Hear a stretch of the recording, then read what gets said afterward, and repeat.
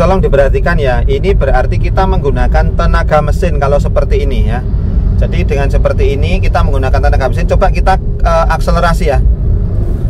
Nah ini kalau di overdrive kalau kamu tekan overdrive meskipun kamu tekan gas dia tetap menggunakan tenaga mesin. Uh, ISG nya tidak memberikan dorongan.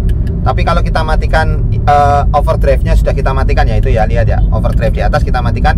Kita akselerasi. Nah kita lihat ya lihat ya. Panah dari baterai ke ke mesin yang di atas engine.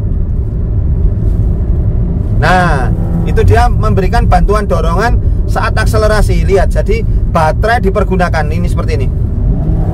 Nah itu tadi untuk membantu tarikan awal. Nah tolong diperhatikan untuk membantu di tarian awal. Tetapi perlu diperhatikan juga di sini bahwa uh, simbol yang A ini yang A ini ini jangan di off kan berarti nanti akan ada manfaat dari hybridnya. Nah ini tolong diperhatikan seperti ini. Nah ini tadi kita menggunakan um, engine dan baterai.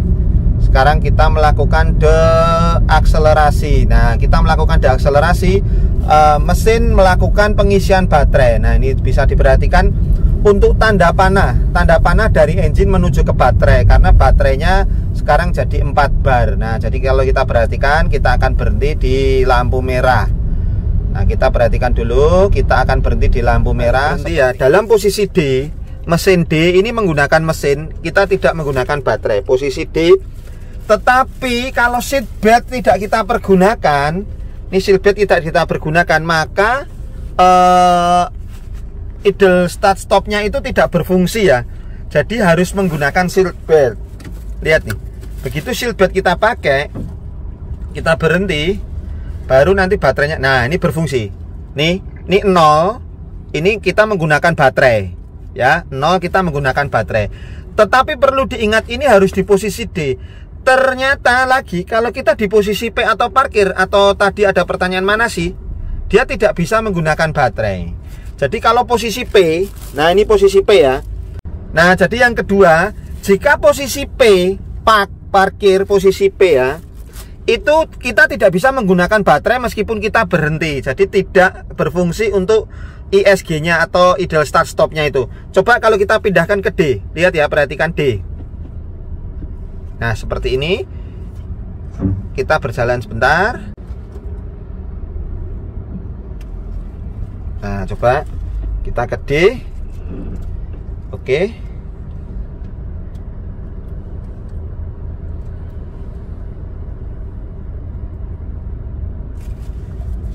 Harus dengan posisi berjalan sebentar terlebih dahulu.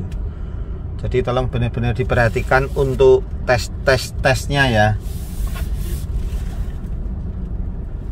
Misalnya ini kita berjalan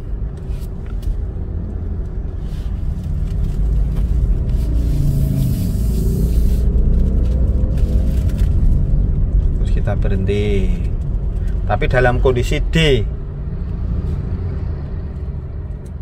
Nah ini dia engine-nya mati posisinya nyala yang uh, idle start stopnya.